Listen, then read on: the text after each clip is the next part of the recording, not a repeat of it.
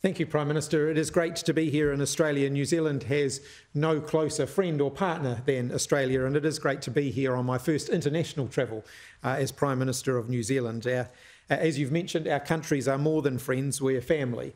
And uh, in the great Trans Tasman tradition, uh, I'm looking forward to working with you across a broad spectrum of issues that are important to both of our countries. Uh, so I welcome your commitment to our bilateral relationship, which was very clear from our discussion. Uh, and in turn, uh, I was happy to provide an, a, a, my government's commitment to continuing to work together and continuing to strengthen the very strong Trans Tasman relationship. Uh, we had a wide ranging discussion across economic, security, and foreign policy issues. Uh, in particular, we discussed how global economic conditions post COVID 19 are affecting New Zealanders and Australians alike. Uh, high interest rates, cost of living pressures affect families here uh, and in New Zealand, and we uh, share a lot of uh, issues in common in that regard.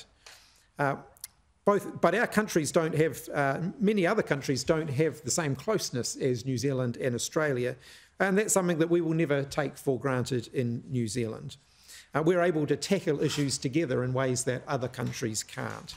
So we were able to talk about the opportunities to continue to strengthen our relationship uh, we did talk about the 40th anniversary of our closer economic relationships uh, agreement that underpins trans Tasman trade that's important to both countries.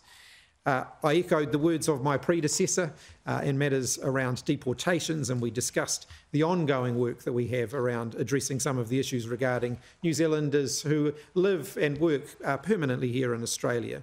They're complex issues, but I do want to acknowledge and applaud uh, the positive progress that's been made in that regard over the last year, and we'll look forward to continuing to work on those issues. So uh, I'm looking forward to welcoming the Prime Minister to New Zealand uh, later on in the year for their next annual leaders meeting, which we're expecting to have uh, in the middle of the year.